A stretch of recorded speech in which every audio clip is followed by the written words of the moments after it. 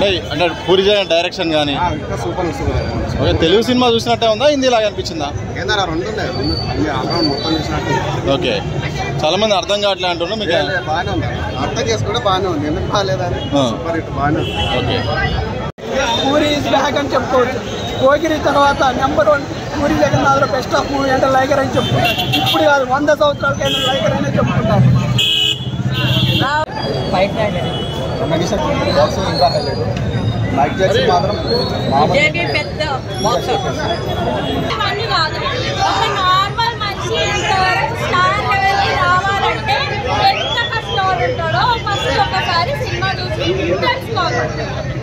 Positive negative feedback అని కాదు కానీ ఒక నార్మల్ కుర్రాడు ఇప్పుడు వచ్చి తెలుగు ఫిలిం ఇండస్ట్రీని ఏలుతున్నాడు. And now he's going to be international star so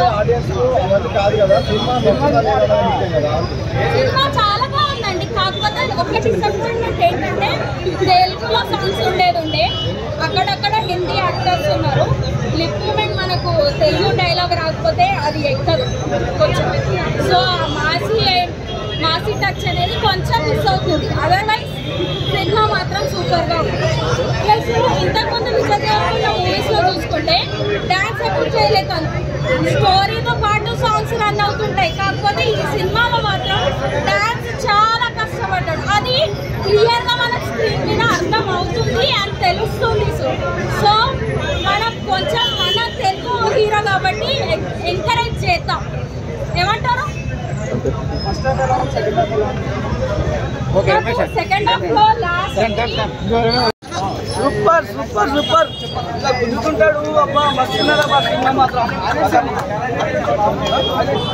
highlight అంటే మన ఇండియా గురించి మస్తు చెప్తాడు ఫైటింగ్ కూడా చేస్తాడు మస్తు సినిమా టెన్షన్ ఏమిటో మస్తున్నది చూడండి ఇప్పుడు కొంచెం అర్థం కాదు మళ్ళీ చూడండి మళ్ళీ చూస్తే మళ్ళీ మంచిగా అర్థమవుతుంది అర్థం కానలో కూడా మళ్ళీ ఒకసారి చూడండి ఓకే రైట్ అసలు అసలు నెక్స్ట్ లెవెల్ మొత్తం వచ్చి మొత్తం cinema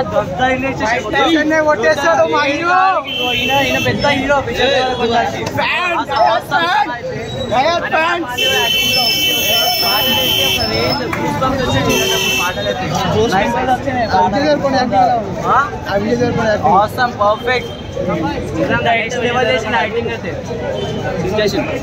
rating five on five five on five sure five on five dubbing movie లాగా అనిపించింది డబ్బింగ్ ఏం లేదు డబ్బింగ్ ఏం లేదు మన తెలుగు డైలాగ్స్ అంటే మన తెలుగులో బాగా ఉన్నాయి ఏంటంటే ఇది హిందీలో ఏంటంటే సాంగ్స్ ఒకటి హిందీ సాంగ్స్ లెక్క అనిపించినాయి అన్న